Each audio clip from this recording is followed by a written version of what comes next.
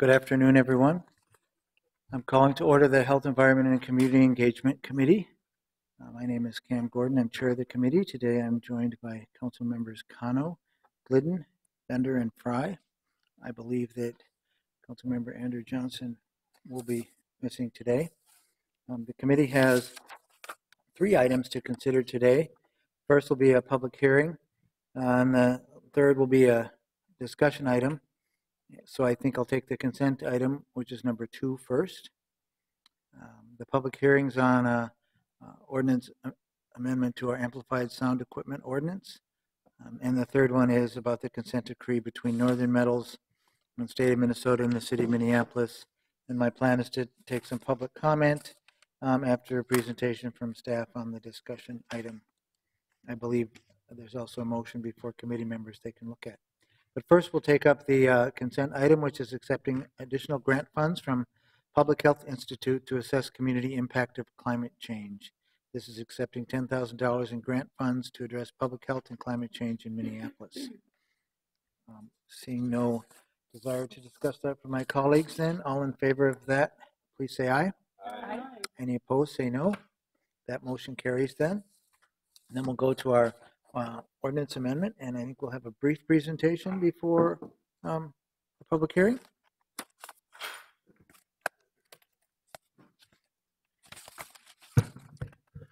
Welcome. Thank you very much. Uh, Good afternoon, council member, or uh, council chair Yeah. and members. Uh, My name is Jim Doughton. I'm the supervisor of environmental services in uh, the health department. And to give you a brief presentation on the amplified sound proposed amendments that are authored by Councilmember Bender. Purpose why we're here today is to, uh, of course, establish what uh, is going to be, went too far. Go back, there we go.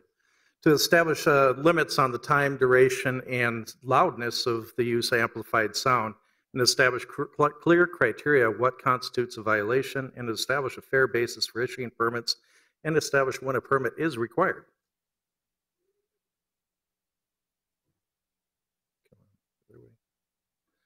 Current ordinance, we have one type of permit. A little sensitive here.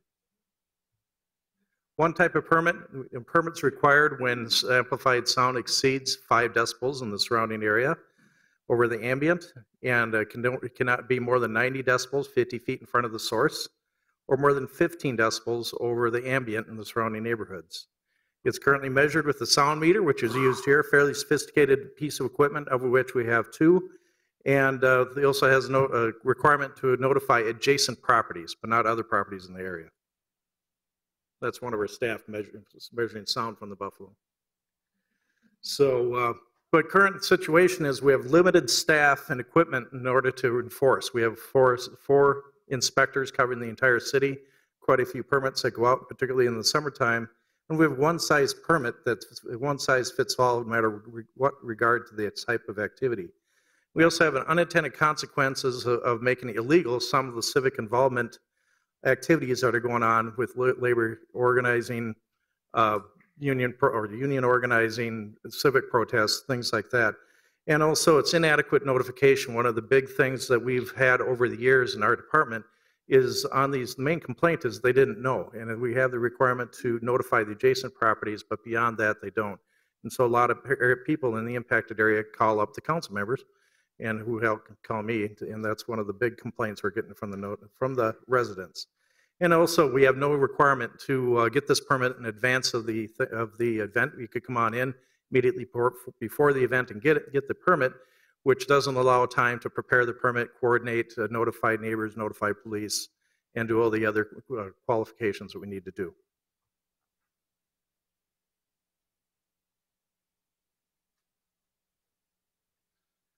What we're proposing to do is introduce a three-tier system that is based on risk, introduce what's called a plainly audible standard to allow increased enforcement, and have an exemption for small handheld devices such as bullhorns in order to uh, preclude the inadvertent uh, civic involvement, and increase the neighbor notification based on the type of activity.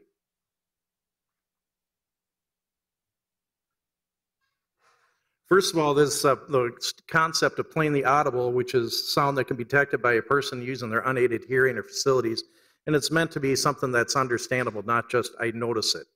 Uh, This comes from a paper by Zwirling in 2012 on analysis of of plainly audible. It's been adopted within New York, Los Angeles, San Francisco, Boston, and other cities as a way to use, the expand their enforcement. So it allows us, what we're hoping to is allow business licensing and the police to be able to do on-spot enforcement is on these permits and magnify our ability to do enforcement, just get it away from the four inspectors we currently have. Or in addition.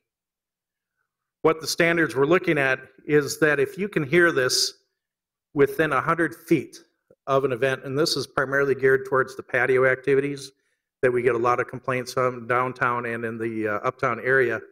But if you can hear, plainly hear the activity, the amplified sound at 100 feet, which is the third of a block, block, we determined that that would clearly be an, a, a violation over five, the five decibel limit and uh, require a permit. But it'll really allow our business and license inspectors when they're out patrolling in the evenings to uh, enforce on patio noise.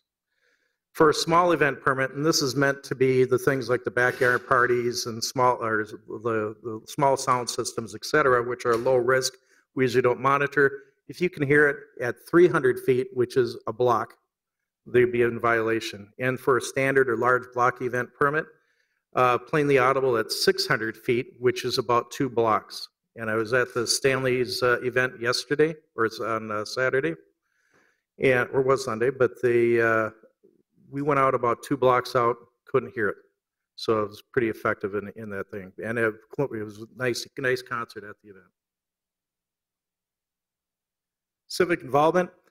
What we're proposing to do is uh, handheld equipment, 10 mega, 10 watts or less, such as a bullhorn, will be categorically exempt from requiring an outdoor amplified sound permit between 7 and 10, as it is now.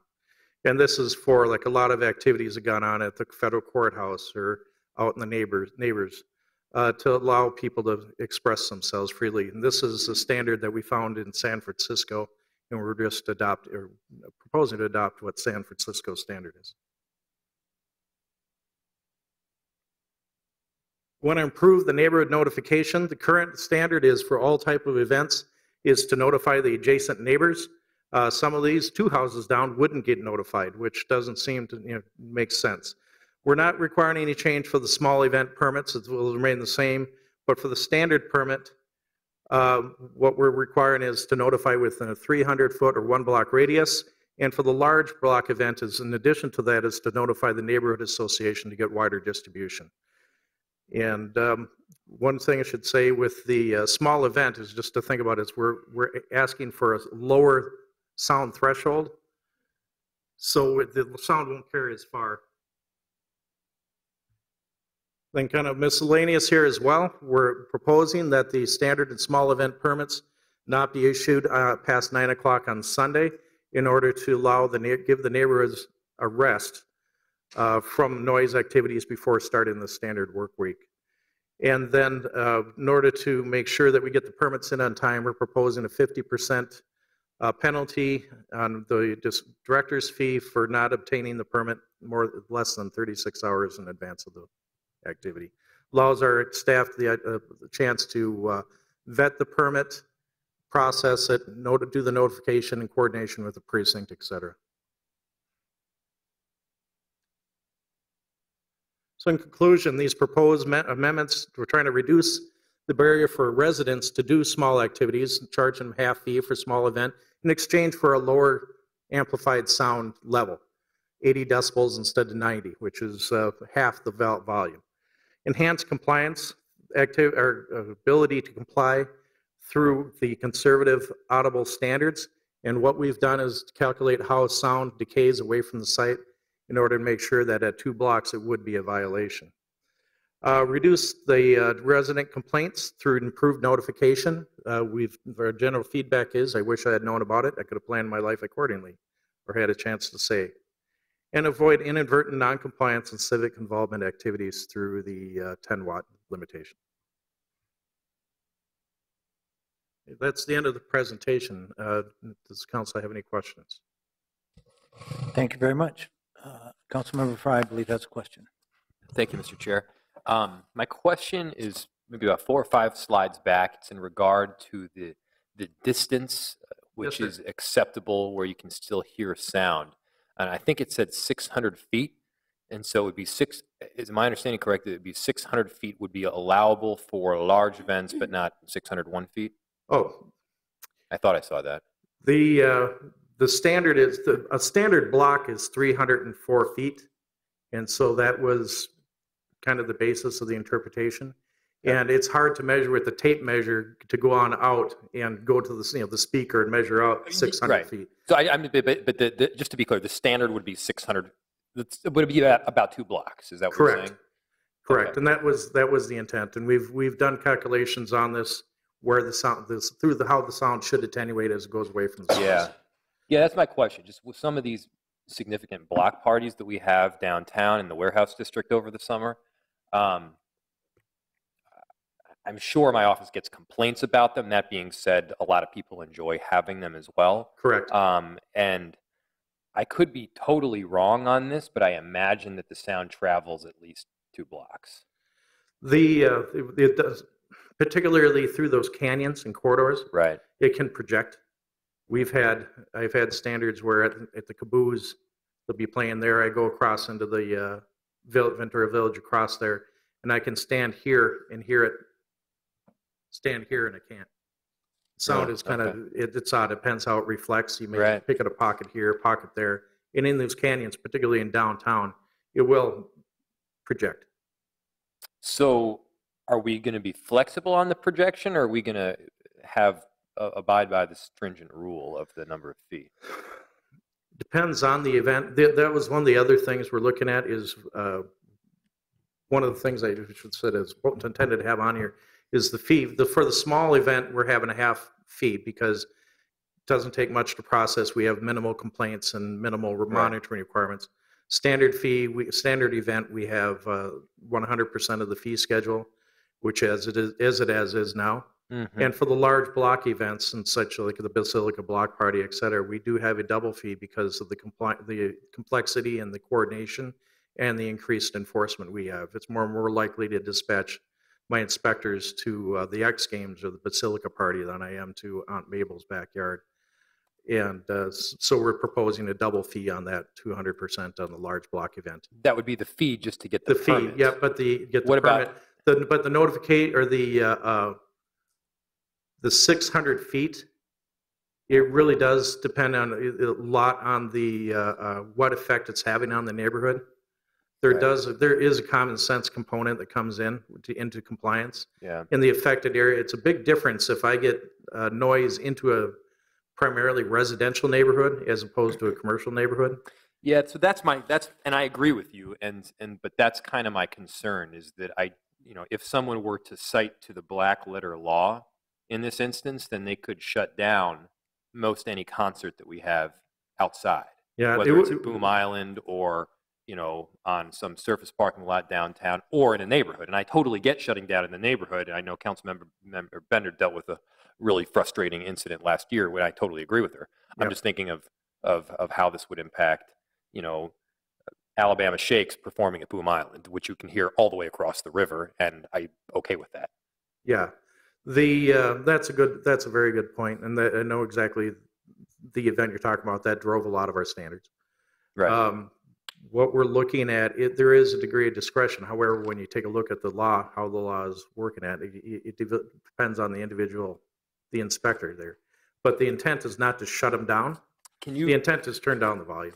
So when I'm looking at the actual ordinance language, it looks like our large block events are still going to be measured um, with the uh, um, decibels uh, sound, There's- not, not necessarily the 600 feet at all. So I'm- there might be a little bit of confusion. Yeah, Can you just it- clarify? it is. What we're trying to do is give some flexibility to the business inspectors and, and police to, if they see an, an unusual effect on the neighborhood, to give, allow them the opportunity to step up and do enforcement. In this case, we're not trying to shut them down. What we're trying to do is turn it down.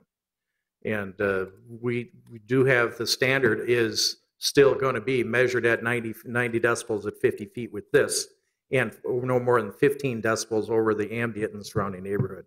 And you'll find out that, this is, I agree with you on a lot of them, you'll see areas like in downtown where we'll project down to 900 feet. Right. You'll be able to hear it because of the canyon effect. Um, But the standard is, is that this is still the standard here. If we've got inspectors out there, they're going to be the primary enforcer. But the main intent is that we, we got four inspectors right now and uh, going on out, but they tend to have business licensing and police everywhere. And business, we've worked with business licensing and the police in the development of these standards. And so uh, uh, the business license quite, e- been quite eager to see the adoption of it. So they So the can- standard hasn't really changed for large events, is what you're no, saying? no. No. What I did is basically calculate that out to be that the, at this distance, it's a, it's, if we, we hear it at this distance, it should be a violation. The, the, the sound should have attenuated well before that point. And that's one of the things I field checked this weekend going out to one of the events. Um, but there is, a- there is discretion in there, but the standard is still, this is the gold standard, the sound meter with our people. And it's, the tendency is that the larger events, the, that we have higher risk, we're going to have people out there doing the monitoring, but we can't be everywhere every time. And so we're trying to put a standard in that allows business licensing and police to to ask them to turn it down if necessary, to minimize the impact on residents. And the way I read the ordinance, the, um, it's the, um, small, um, events, um, that will be the 300 feet, and that's where there's a lot of flexibility so that others can come and walk a distance away and figure out what it is. And if we're going to be intervening in a large event, we're still going to go back to measuring the decibels, um, and using that. Is that correct? Correct, sir. Thank you. Does that, does that help, Councilmember Frey? I think so. Um, I don't see any other questions, so I think what I will do now is open up the uh, public hearing and see if anybody's come to speak on this issue. Thank you very much. Thank you, sir. So now the public hearing is opened if you want, if you're here to uh, speak on the amplified sound ordinance amendment. Is anybody here to speak on that matter? I'm assuming no one has signed in. Uh, I'm seeing nobody come forward. Then I'm going to close the public hearing on that. And maybe I'll turn to Councilmember uh, Bender. Would you like to make a motion or speak on this? Thank you, Mr. Chair. Uh, I'll move the item. Um, I, I do want to note, you know, if there's anything between now and council when we vote, Yeah. um, then, then, you know, maybe um, staff can sit down with Councilmember Frey or any other council members that may want a more detailed briefing on some of those technical aspects of where the decibels are measured and how far away and all that stuff. Um, we did have a, so I have a huge number of events in my ward, which we support and welcome. Mhm. Um, and for the most part, people, you know, some people feel a little inconvenienced, but otherwise, I think people just kind of accept it as part of our summer season of all the businesses in Uptown that have individual events and then some of the bigger events as well. Um, and really, the intention of this was just to give more clarification to our staff and more flexibility in who can help enforce the regulations. Um, and then I think it was actually in Councilmember Johnson's uh, ward, but it probably happens besides just that one instance where there was a, a really small gathering and we only had this one system for getting a, a, a permit. Um, so that was becoming a barrier, again, as staff mentioned, to people who wanted to do these smaller gatherings that I also think we want to support in the city. Um, again, we have a pretty short warm season, so folks getting out and having block parties or gatherings in their own home, um, we don't want to sort of over over regulate that. Uh, so I think that this approach, again, was really um, staff driven. But um, so if council members have any other questions or comments before council, I think they're welcomed. But that was sort of the underlying intent and origin of this. So thanks, Mr. Chair. So Councilman Frey, I'd be more than happy to meet with you or your staff to discuss the, the technical aspects or, or concerns that you have on it. Can you just point me to, uh, maybe I'm not seeing it, in the ordinance where it designates 600 feet as the standard for larger events? It's not in here. Okay. Is it in, a? it's in a, is it in a different part of the code?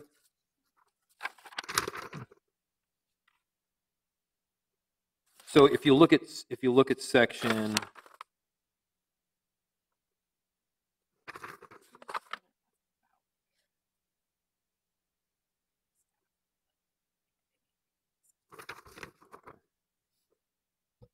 Okay, so it says, so at number seven, it says amplified sound plainly audible, police, business licensing, or health department personnel, or their designees at 300 feet from the property line shall be, shall be considered a violation of the small event permit, which makes sense, I think. Um, so one block away. Um, what's the standard for the large? No, you're, you're right here. Um, we had it in there. I don't know why this version does not have it in here. So I'll have to reapply, reapply here. The, um, what I have here right now is, you are correct. We have the 50, at 50 feet to, you need a, basically need a permit. At 100 feet, you're in violation, but the, at the uh, uh, 300 feet for the small event, but you're right, I do not see the 600 feet, but that was the intent. Well, the only thing that I could find was number three that references the standard for large block events, and that's what I Yeah, was that is asking correct. about. You are correct. Is the current standard right now is still, uh, as it is written right now, would be, this would be the gold standard for the standard, for the large and block event. We don't have the 600 feet in this language here. But this is the language before us, and I believe that's the language that Councilmember Bender has moved. Are there any uh, s- amendments or anything? So I I think- mean, I, if, if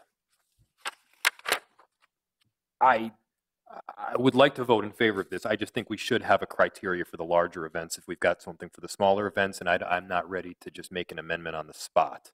Um, so, I mean, I'm, I'm I'm sort of wondering how you want to handle this, but I can't miss. Well, I thought that the criteria was that sound measured at 50 feet from the source shall not exceed 90 decibels for standard and large block event permits. And once they exceeded those, they'd be asked to turn. No, that is, that is correct, but the intent was, like I said, with this version that came through here, I'm not sure how, but we had the 600 feet in there prior for the large and standard events to allow the, the, basically to allow the business license and police to enforce on that.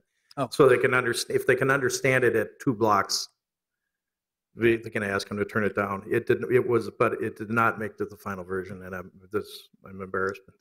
No, it's Well, Well, that's don't okay. it's That's fine. something that we can certainly um, fix between now and the council meeting, or we could lay it over here in committee if we'd like. We could move it forward without recommendation. We could also move it forward as, as it was moved with recommendation. Um, Maybe I'll defer to the author. Do you have any suggestion for how you'd like to do this?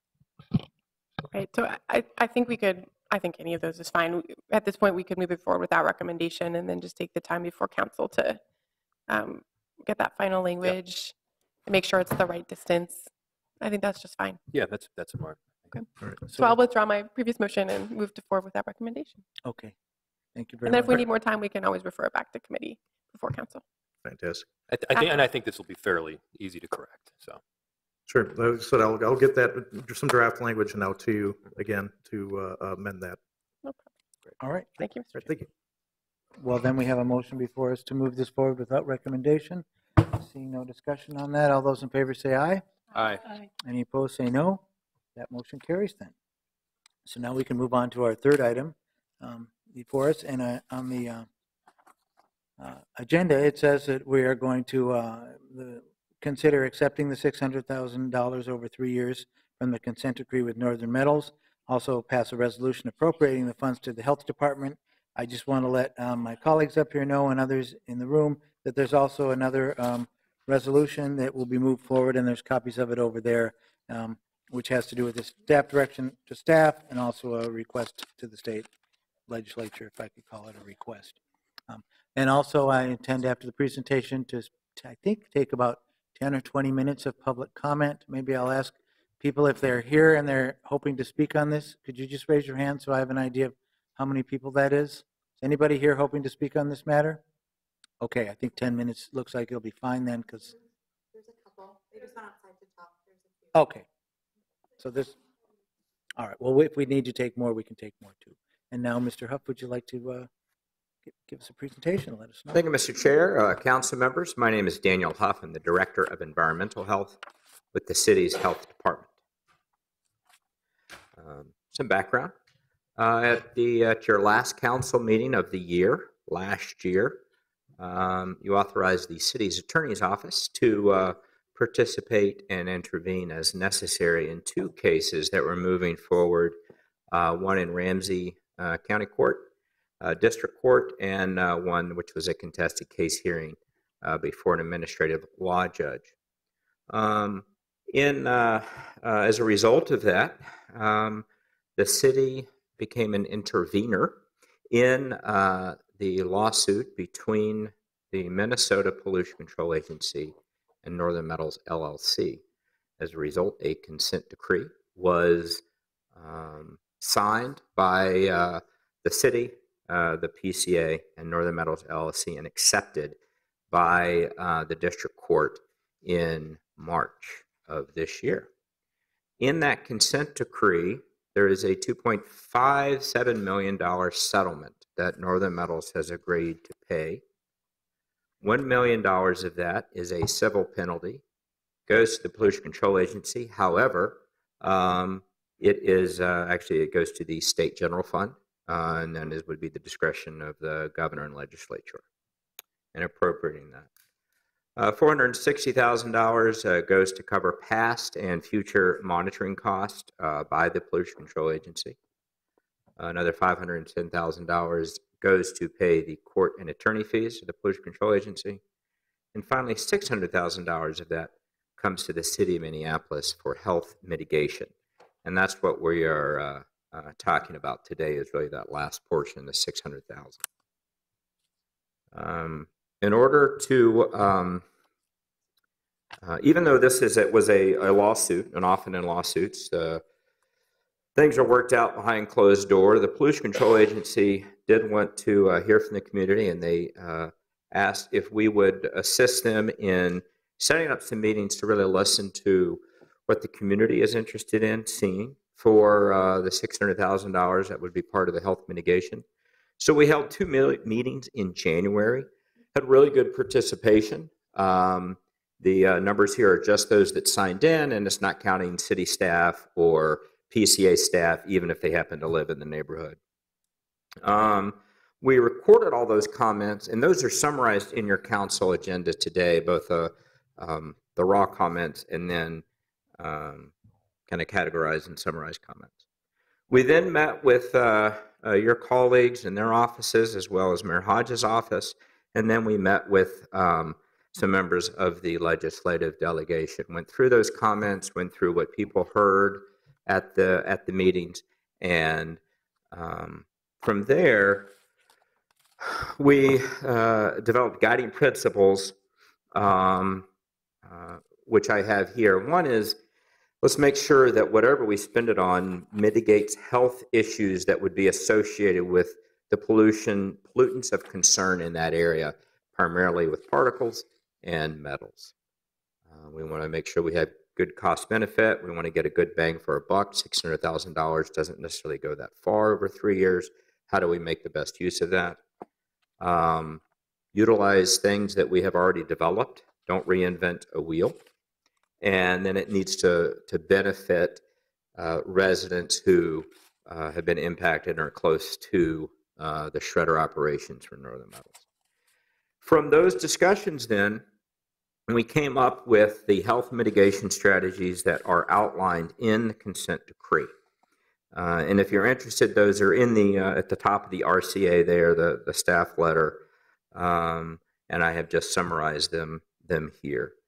The consent decree, that's what we have to do as a city, uh, because that is the court accepted consent decree. There's obviously some flexibility within that, uh, but unless we were to go back and change the consent decree, that is what uh, we have committed to as a recipient of these funds. Um, we, uh, we also are looking at some additional, we heard additional concerns from the community. One was let's have more monitoring.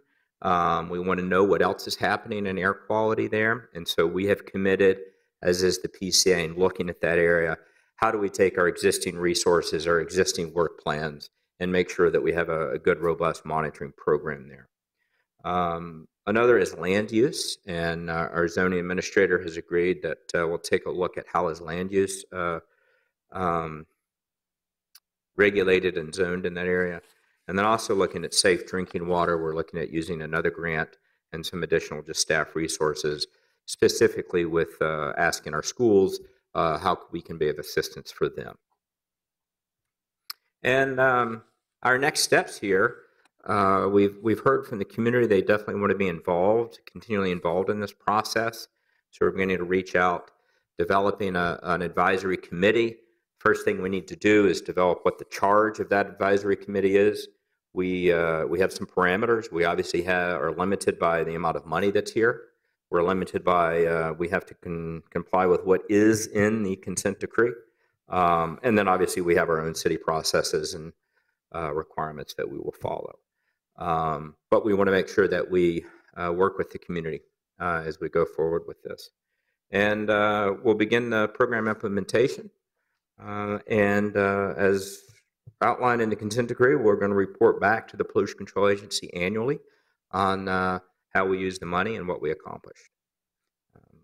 I, uh, I wanted to make sure that my contact information was part of the um, presentation here so that if people have concerns, if they have questions or comments, they can reach out to me directly uh, via email or phone.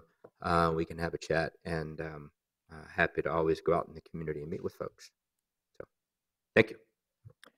Thank you very much. Um, So I have a question in general about the decree. Yes. Um, And I was disappointed to see that the shredder can stay in operation until August of 2019. Um, Wasn't there some hope that they would have to move sooner? And um, why did the judge end up giving them all the way till 2019 to move? Um, uh, Chair Gordon, I can only answer with the information that I have. Um, the Pollution Control Agency staff and their attorneys negotiated the settlement. Our portion that we worked on and provided to the Pollution Control Agency is what's in the, uh, on page 14F, City of Minneapolis mitigation.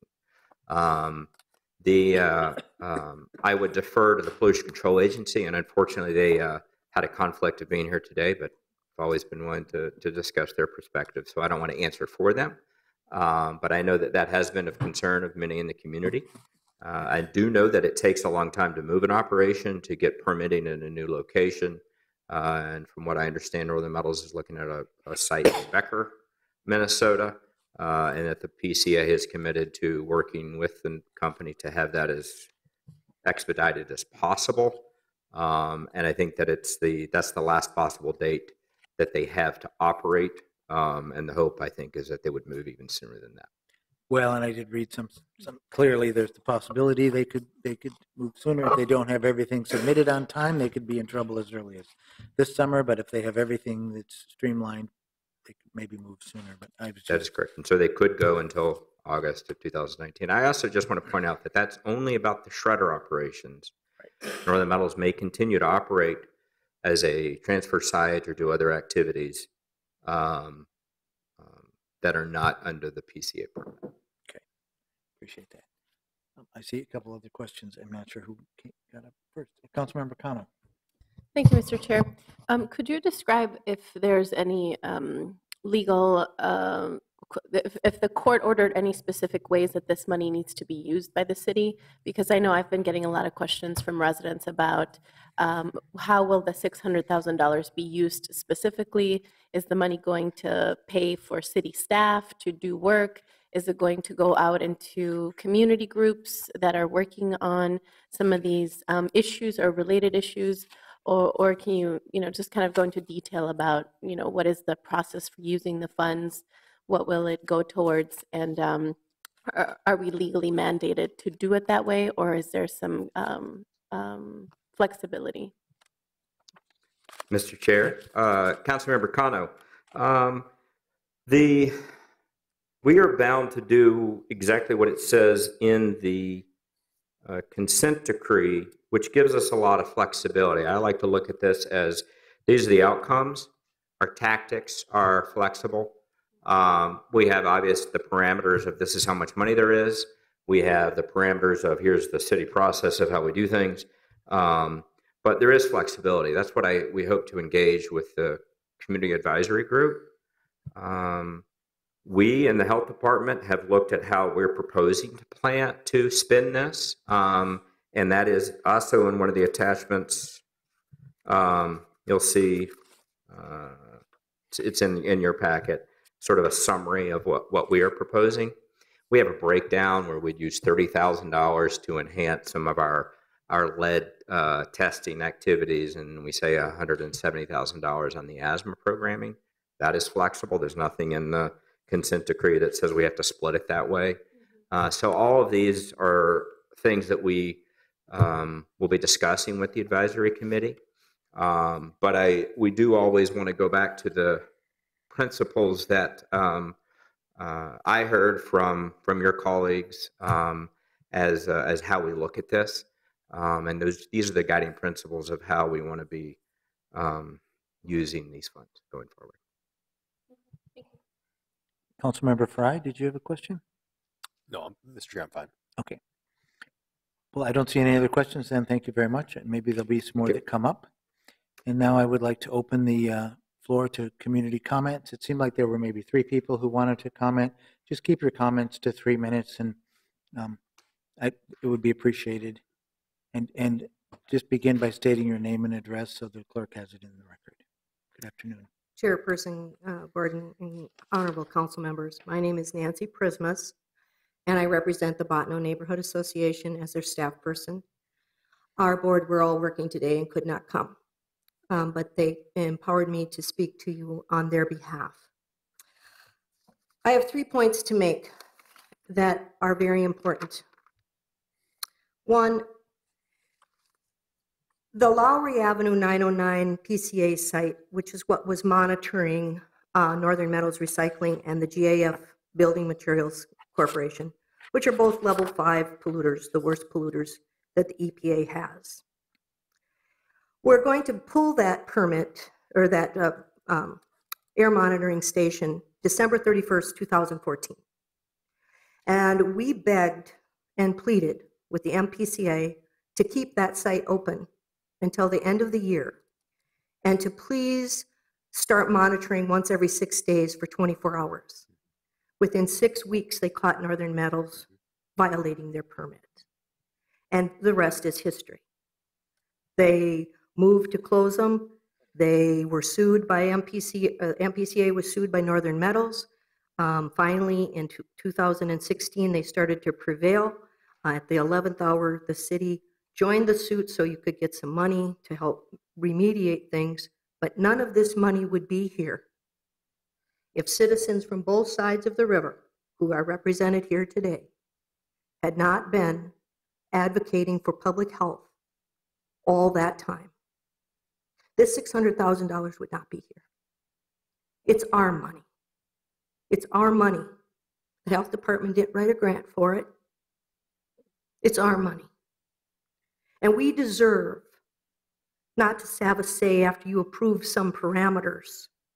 We deserve to say that this money should be spent to show what caused lead poisoning at such a high rate in the community, what is causing asthma at 844% higher rate of our deaths in Hawthorne and Bottineau and Marshall Terrace and McKinley, those four census tracts. What is causing such a um, level of uh, asthma hospitalizations at the highest rate? We believe it's air pollution, but no causal study has ever been done. No correlation study has been done. That means we can't hold Northern Metals accountable if we don't do some studies. We need the health department to do that. They have statisticians, they have lots of people who are researchers who can help us. Because if you look at what it costs for one cancer caused by them, it's about $2 million in hospitalization. If 50, if 50 people, we can show if 50 people were caused by health, by this, that's $100 million that they should be paying. Northern Metals is not just this corporation here on the river. They have hundreds of plants all over the country. They have hundreds of plants more all over the world. They are exchanged on the British Stock Exchange, but they aren't a British company. They are headquartered in the Caymans. And this company has blood money. This is blood money because they don't care how many people get asthma. They don't care how many people get lead poisoning. And there are children whose parents never smoked and they don't have lead problems in their house. And they're babies who are still nursing and they've come down with lead poisoning. Well, where did it come from? It comes from the air when their mommies run them in the strollers down the street catching the bus. We want studies to prove that they should be held accountable and not just Northern Metals, but also GAF. And the city did not get that extended air pollution uh, monitoring. It was the citizens this October that was awarded the camp, the community monitoring program that the MPCA put on, first over at Phillips, and then up at Owens Corning, and now on the river. We did that. We, the citizens, not the city health department. We need you to direct them. And I, I think they're good people and they're hardworking people, but we need you to direct them to help us. Because never in the history of changing environmental problems has anything ever been done unless public health studies shored up what the community already knew. When Judge Miles Lord overturned reserve mining in the 70s to stop the asbestos from going into the Lake Superior, which was poisoning all the people and giving them mesothelioma in Duluth and in Silver Bay, it was because the health departments, the health departments got together and proved it. And then it went to court. We can't do this without you. We've hit, we're, we, we just, we just bunted and we luckily got to first base. Please, I entreat each and every one of you to seriously think about how this, this gift of $600,000 got given to us and how it should be spent. Because hundreds of millions of dollars of remediation and there's a cap on that site of 12 inches of concrete because it's so polluted, the soil so polluted. When they expanded it in 2009, they had to cap it. There's soil pollution, water pollution, air pollution, lead pollution. Please reconsider. That's not that the health department doesn't deserve all the money for the current suggestions they've made, they do. But we need it in a different way. We need to prove what they have done. And we need your help. We can't do it without you. Thank you. Thank you very much. Is there anyone else who'd like to address the committee? Welcome. Hi, my name is Roxanne O'Brien, and um, I wouldn't say my address because I feel like working on environmental justice issues is kind of dangerous. Um, but I'm here today with quite a few residents who are frustrated. We're all frustrated by the whole entire process. Um, it's been about five years since I started paying attention and being involved in this issue. And when I started paying attention, I started notice, noticing like corruption involved in this issue, being that there were judges um, involved that were working for Northern Metals in a way and not for the people. And then now, um, now that the settlement money is in question, or now that this the lawsuit started and it was settled, there were concerns that I had about how every time a lawsuit occurs, there's like this backroom deal where they the company gets a chance to um, secretly discuss what they are going to do, regardless of how the residents feel. So, in way, one way, I felt like the money was kind of stuffed down our throats. Um, it was like, what do you guys want to do with the money? You know, before it even got here.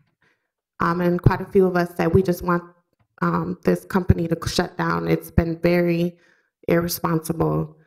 Um, matter of fact, it, the reason why the lawsuit started was because they were trying to shut down pollution monitors. They were trying to sue the MPCA for, for even monitoring and protecting us. So that concerns me that we're still allowing a company that clearly is wrong to keep working in our community, making millions of dollars. It, it makes me feel like that there are no public officials who are actually protecting us like they should be.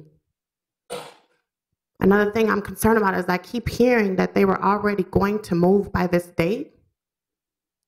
So then what was the point? And if we are forced to take this money, then why isn't it coming to us? I'm also concerned with um, Dan Huff being in control solely by himself to pick and choose who's going to be on a community committee. I think, I mean, I don't know if you're from my neighborhood, but I think that I think that that's inappropriate. I think that people who are actually really affected by this should have more power, more power and more say in what's getting done.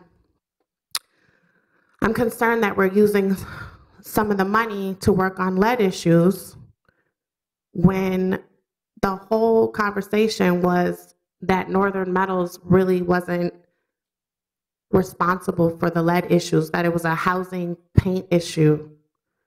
So then why are we putting money into that? I mean, I'm all for getting, you know, children and families whatever they need to be healthy and, and supporting them.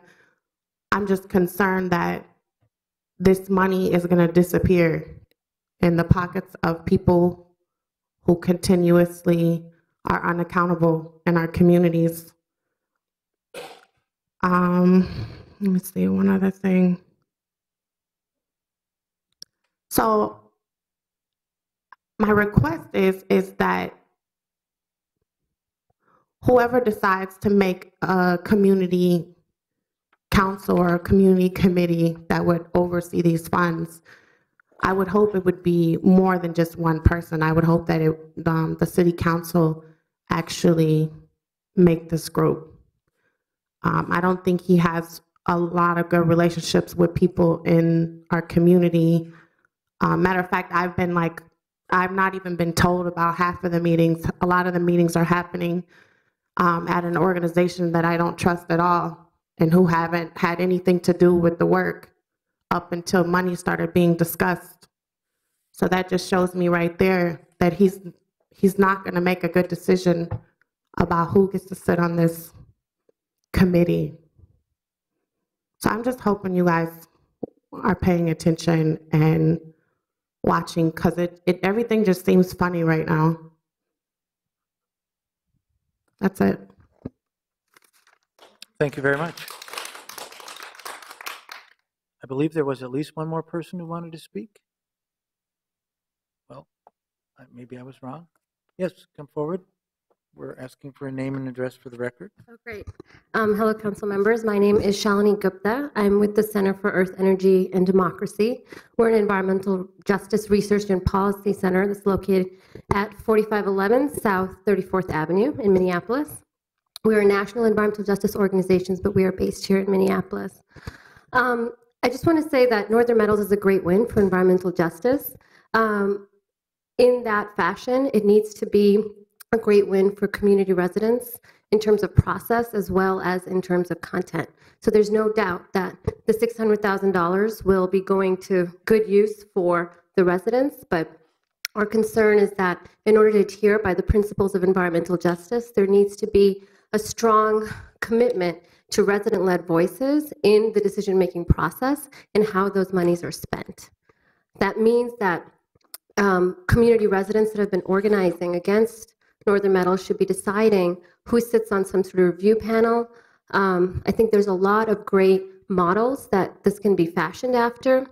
The health department itself has a green business sort of review committee where there are um, a cross sector of, um, uh, of community groups as well as other um, uh, resident based organizations that will participate in decision making processes. There's a lot more that can be done, but there is that there. Um, Headwaters Foundation for Justice has a communities grant led making process, and I'm sure there's other models out there that can be fashioned where residents are really in charge of um, determining where these monies are spent. There's a lot of good projects that this could go to, no doubt. North Minneapolis, it was targeted as a green zones, thanks to the great work you all did on April 28th to designate it as such. Um, but in that sense, it, it has to have a strong process component that is accountable to community residents. And that, what, that is what we're hoping for, that really comes out of this as well. Thank you. Thank you very much. Uh, One more speaker, I believe. Want to come forward? Yeah.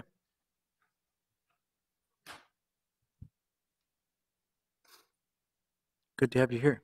Good afternoon. Uh, my name is Louis Alemayehu. I live at 2000 Seabury Avenue in Minneapolis, and uh, I'm speaking for the North American Water Office right now. There are two issues that I wanted to address. One is related to democracy, and the other to education. Um, over the past uh, three years, I've been doing a lot of work during the winter months in Africa, focused on food security and uh, environmental justice. And one of the things that I noticed when I was in Sierra Leone, West Africa, I was uh, living and working in a region called Kenema, uh, living in a village called Mandema. And we were trying to get them to set aside land to create permacultural farms and early childhood centers working together. And one of the things that one of the chiefs told me was that they couldn't do anything until they had the approval of their village. And it just struck me oh, this is an example of democracy that I haven't really seen. And I think I'm really concerned that we're listening to the voices of the community before we make really big decisions that affect the health and wellness of generations yet to be born.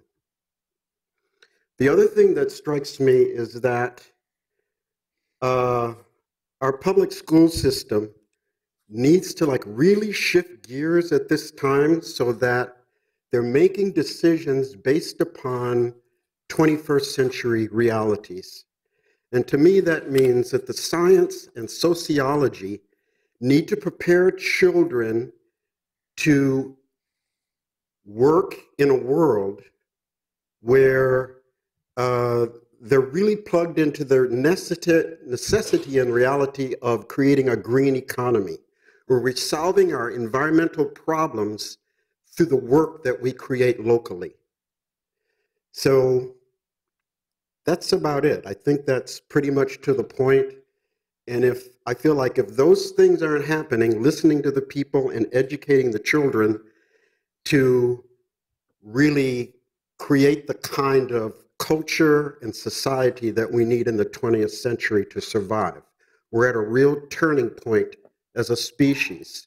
And unless we make some difficult decisions and deal with the challenges of really having a different culture, we're going to be in deeper trouble than we are now.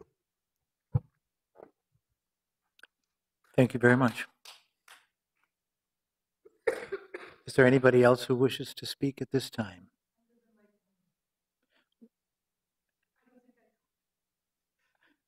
Well, we- I'm, I'm sure we could give you a minute or two if you'd like. We don't have a, we don't have any rules about where you have to be from.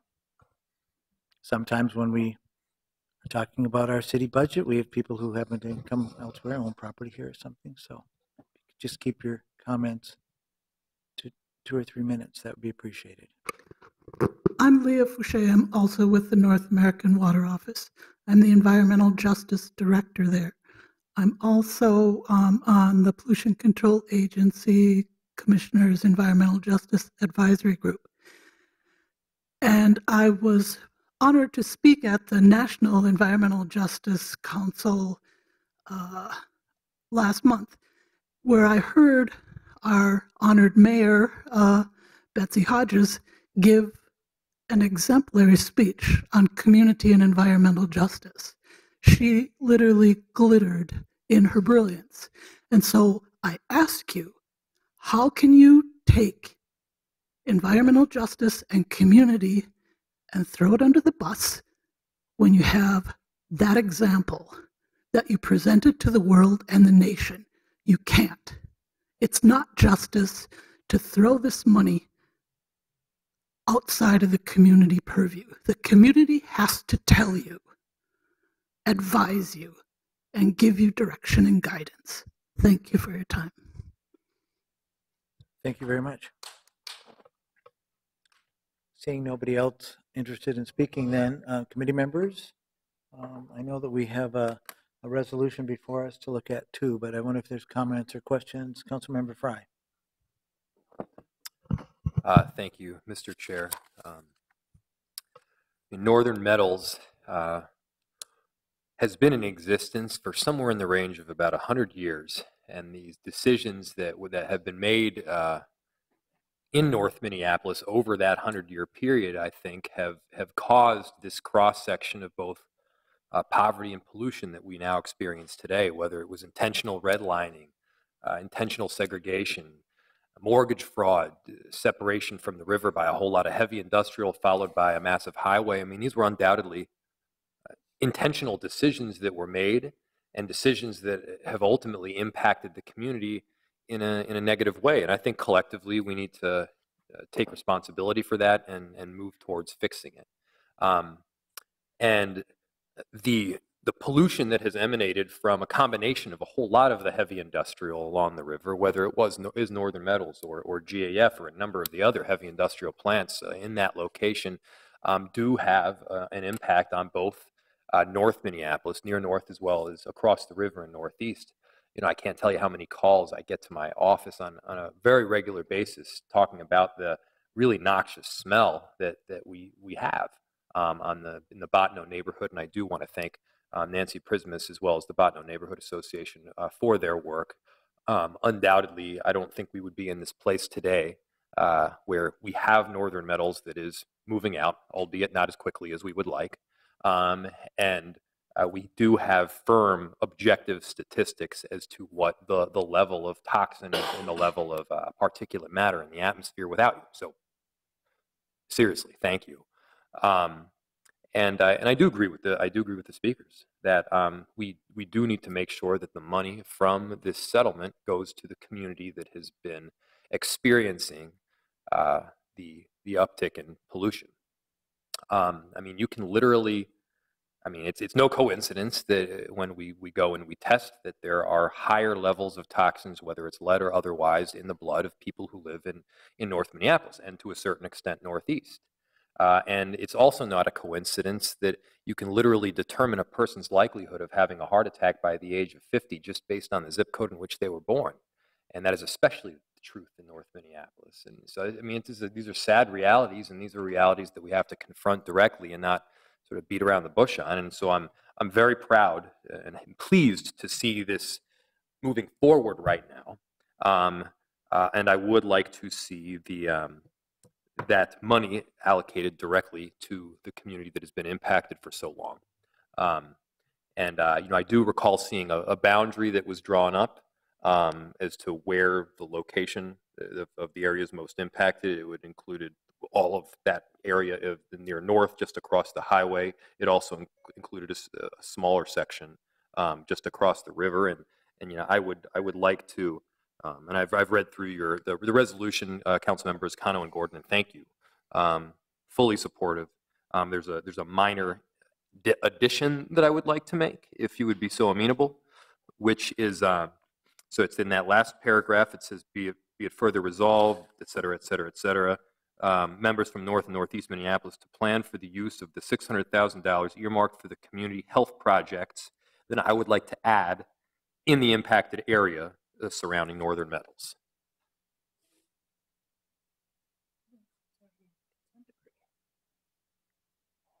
That's correct. It is already in this consent decree. I think that's fine. That's, Yeah. That's fine with me. Um,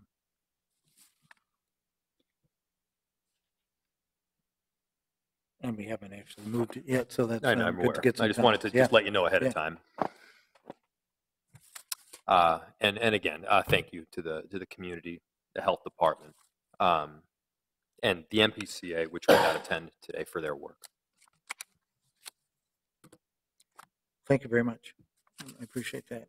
Um, I did want to um, thank everybody for coming in and making those, those comments. I appreciate it a great deal. And I think within the, um, the consent decree, uh, it does seem like they they give us quite a bit of latitude um, as I'm reading it. Um, it does say that they uh, shall solely be um, used, I should say, shall be used solely for mitigation projects in Northeast and North Minneapolis. So that's a pretty wide area, actually. But then it also says the mitigation project shall include projects in the impacted neighborhoods, and it lists four items.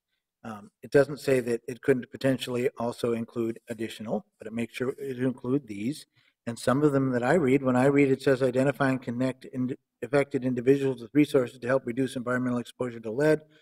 Well, some kind of study about where that lead poisoning is coming from or whatever could fit in there.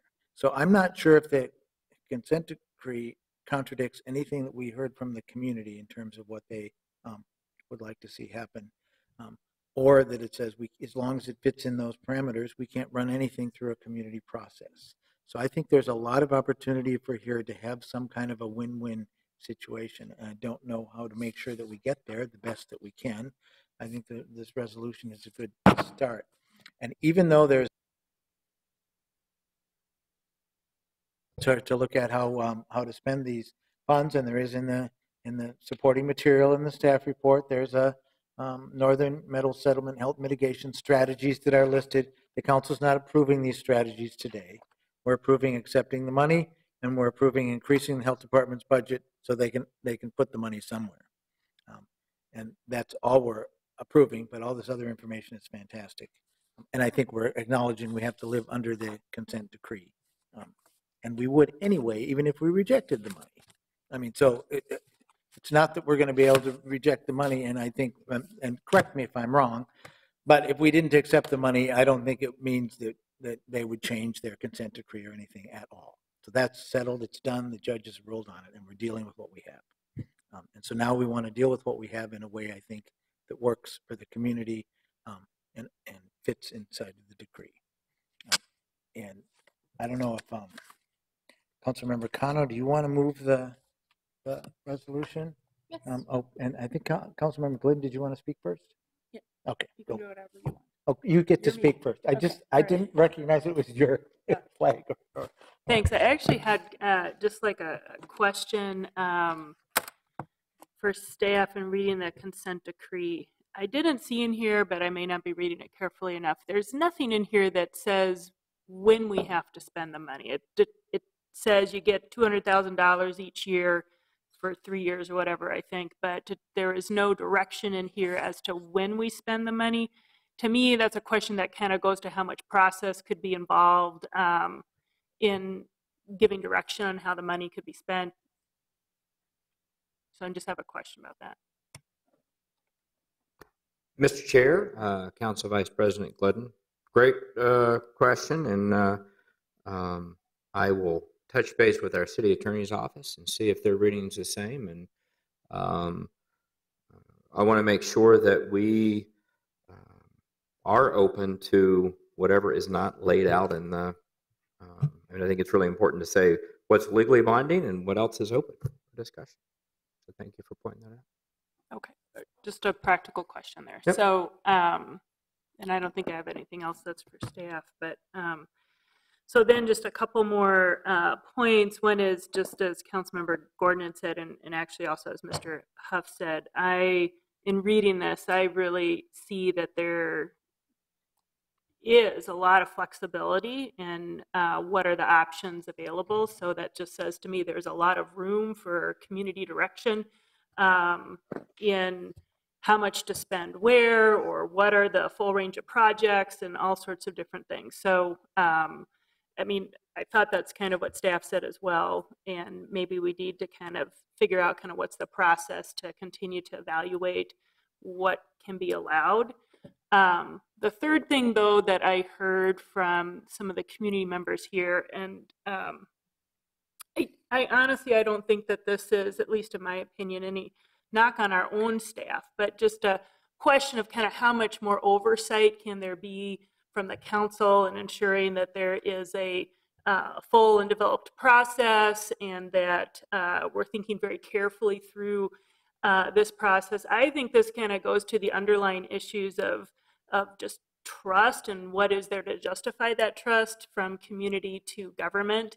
Again, I don't know that this is so particular to the city of Minneapolis or the health department per se, but just, you know, we're operating in an environment right now, a national and a state environment that really just does not engender trust.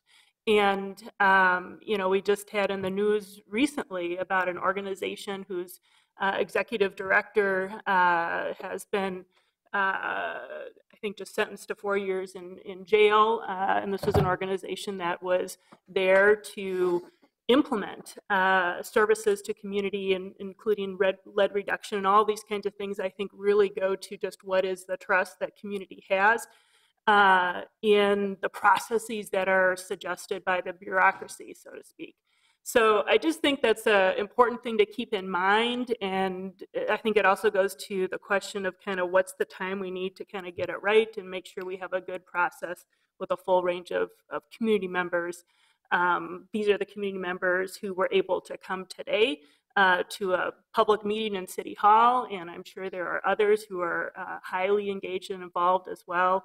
Um, so I just wanted to put that out there. I don't know, this, this resolution really doesn't go to kind of what's the feedback loop back to thinking through the process piece, and that may be something, maybe not here on the fly, but maybe something that we want to, uh, Councilmember Gordon, I'm just kind of looking to you as the chair, want to think about, is there additional language to add? And maybe we could do that at the full council meeting or, or some other time. Um, I just want to make sure that we have an opportunity to craft something that's uh, we, we can get some feedback from staff and, and work on. So, all right, I'll I just think make that suggestion. I think that's a, a- a great idea too. There really isn't a report back time on this or anything or um, feedback. I'll, I also, um, with some of the discussion here, how does this or does this not fit with the designation of the green zone, which isn't referred to in the resolution Yep. either? And maybe there's some potential here um, to, to ask staff or direct staff to coordinate those efforts or something, but maybe we also need to talk a little bit to the Sustainability Office and others about that between now and the council meeting. So I'm not saying I've got an idea on the fly, but definitely it's something that reached out. We've also talked um, about um, participatory budgeting. What does that actually mean and how is that involved? We're going through, I think, a grant, a federal grant right now where they're trying to implement some of those strategies about how can you give some um, democratic discretion um, for some of the recast uh, funding. So there might be some, some other tools or ideas we could try to implement. But I'm not, I don't have an amendment for this resolution right now. But Councilmember Cano, you want to move the resolution or talk about it a little? Yeah, sure. No, I just, I'd like to move the uh, item forward. Thank you. All right. No. And we probably don't have to uh, read the item, but we should, um, are you moving it forward with the friendly amendment from Councilmember Frey? Can you read that language again? Yeah, if I can find it in my I just, I want to make sure that language ends up being as broad as what is in the consent decree. So I actually am not sure I agree to that language. Um, It had to do with the final resolved clause, and I believe it said, I'll read the whole clause and I'll put it in there um, and note where it comes up. Be it further resolved that Minneapolis Health Department staff are directed to work with community members from North and Northeast Minneapolis to plan for the use of the $600,000 earmarked for community health projects in the impacted areas of Northern Metals, as well as any additional funding that comes to the city from the consent decree with Northern Metals. So I had it coming after health projects. It's a, the, the specific, and I'm open to alterations to it, but it's in the impacted areas surrounding northern Surrounding. metals. Can I speak to this? Yes, of course. Go ahead, Councilmember. Okay.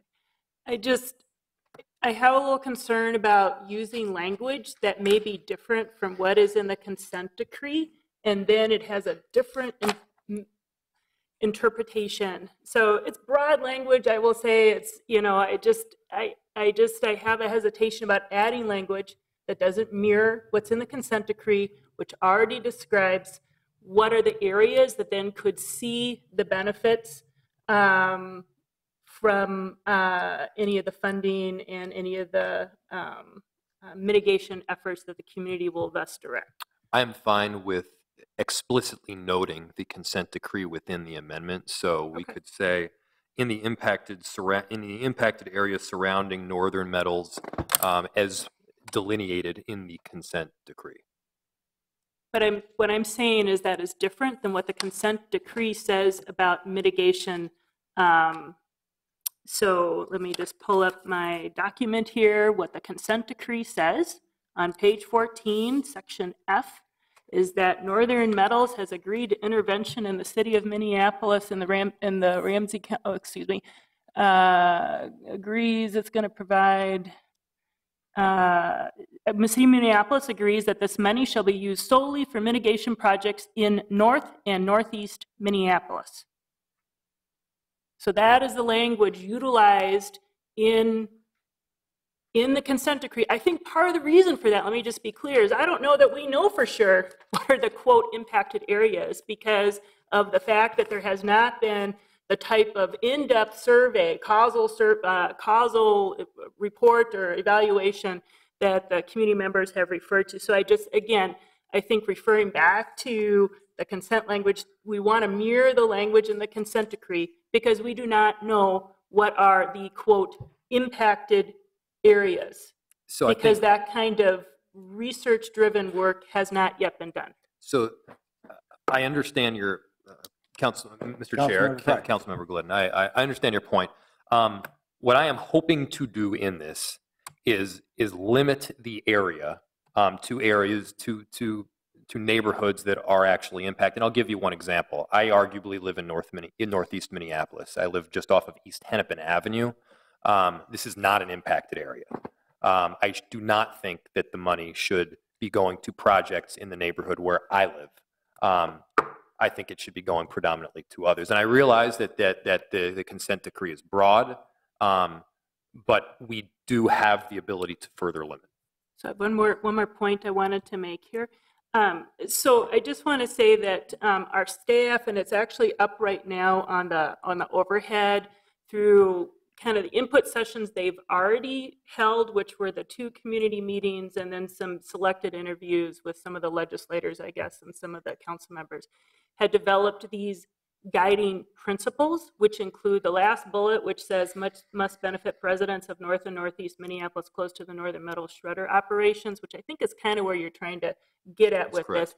And this probably would be something good to review with any advisory committee once it's established, because I think they sound like very reasonable guiding principles. They're a little different, though, than saying what's in the consent decree, which ends up saying what's kind of the breadth of what you might end up doing. And I just don't want us to shortcut what the community might end up recommending by, you know, now then we're going to have three different things of language. We have what's in this resolution, we have the consent decree, which is very broad, we have the guiding principles, which is not consent decree language, but for, seems to kind of narrow, at least initially, and this is not something official, but it's kind of what the department has put together after doing the initial input sessions they described. So anyway, at the end of the day, uh, you know, we just do our best job.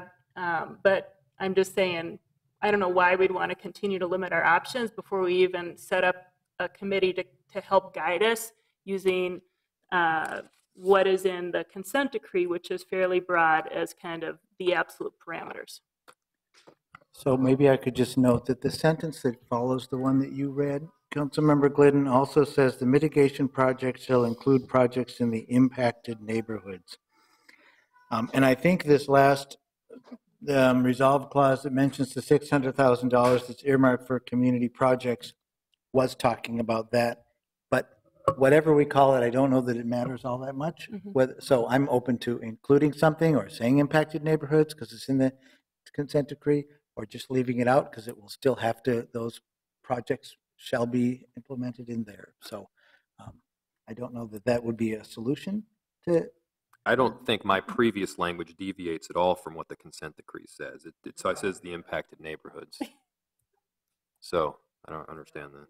yep, seems pretty consis- consistent, but I'm Yeah. not sure. I think that, I'm not even sure if we've moved it with your addition in there or if we, if we haven't. I think that, I know, I'm pretty clear that um, Councilmember Glidden prefers that we leave that language off. I did not move it with that language. All right, do you think we should take a vote on yours as an amendment? Or can we just pass it like it is Just now? pass it like All it right. is, I And we're guess. gonna, we're gonna have a chance to work on it Okay. before the uh, uh, council meeting too, so maybe we can Okay. come up with some other suggestions and ideas. Um, uh, I know that Councilmember Bender also has a question. Thank you, Mr. Chair. I, you know, I, I do have a couple of questions and I just wanted to ask them just so I feel like people have a sense of what's happening after today's hearing and, um, because I'm not sure I'm clear. Uh, so I think my questions are probably for staff. Um, First of all, I wondered if we have ever participated in something like this, if the city has ever been awarded this kind of funding through a- an agreement with a private entity or a lawsuit like this in the past that you can remember? Do you know, uh, Uh, Mr. Chair, uh, uh, members, members of the committee, I'm not aware, that this is kind of a unique thing. Um, I'm not aware of the city having been involved in anything like this in the past. We've been involved in consent decrees, which I'm sure you all know, Right. but nothing, nothing resembling this. thank you, Mr. Osborne. Okay, I think that's helpful because, I mean, so it seems then um, likely that we would have this kind of questions about what's the process going to be and sort of staff and community together are kind of inventing something new, which hopefully will help us move the dial on this issue. I guess I wanted to note one other thing, maybe echoing what Councilmember Glidden said, was that, um, you know, we're in a unique position as the city because we are kind of the first level of government here, which hopefully is working with community to support and advocate for the same things, often to other levels of government, right? So the state government or private entities. Um, and and um, so I just think this process needs to um, hit the right level of, of detail here. So I, I wasn't sure. So there's four items. So this is, I guess, another specific question for the city attorney's office. Um, in the same section that Councilmember Glidden was reading through, um, there were some there were like four points of what the funding would be directed to in the consent decree. And I just wanted to check and make sure that that we did feel that that was broad enough to, for example, entertain the idea of funding a study or kind of some of the other things that community members brought up today, or that we're not constrained to those four specific bullet points in the consent decree. Mr. Chair, members of the committee, I read it like Councilmember Glidden reads that, which is I don't believe that those four specifically mentioned mitigation strategies um, are limiting.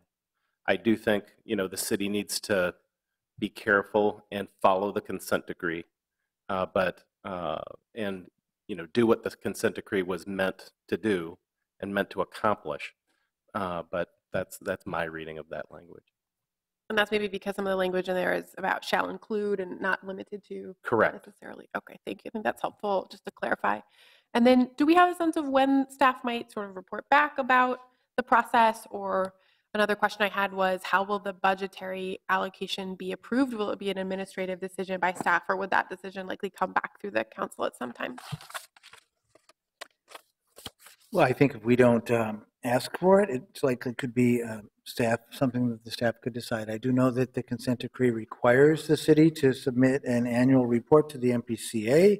um, that- So at least there'll be an annual reporting that would go to them, and it- if it's um, coming from the city, the chances are it would go through the city council before it went to them.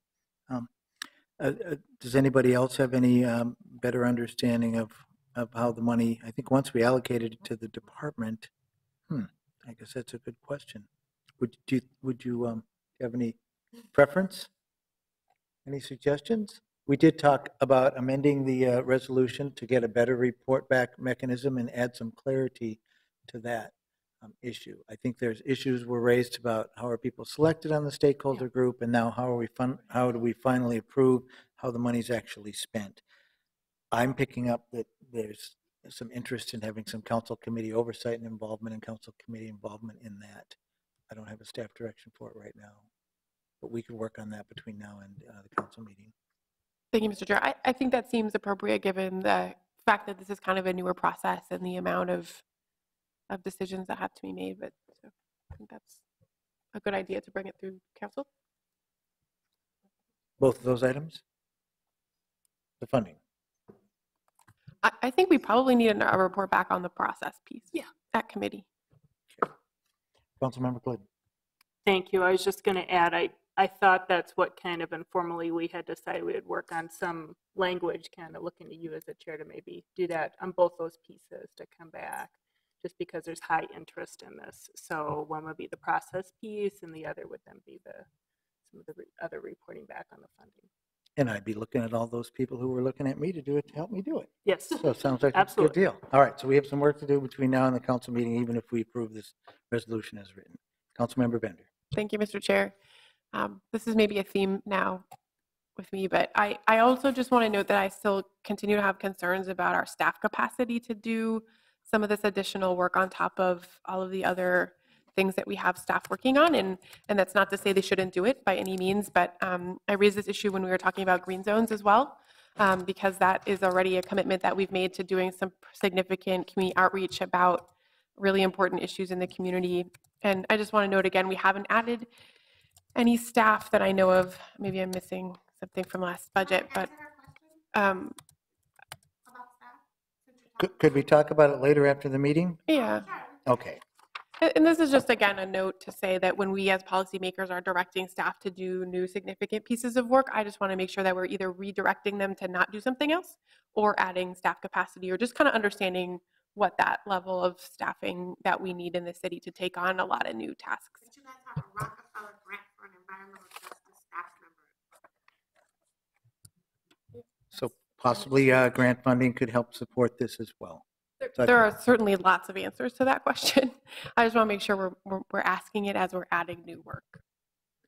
So I just wanted to highlight before we vote on this, the uh, second resolve clause, because I think this is um, pretty significant and a lot of concerns have been raised about the uh, civil penalty. Earlier in the presentation, we saw where the money was going and there's a million dollar civil penalty.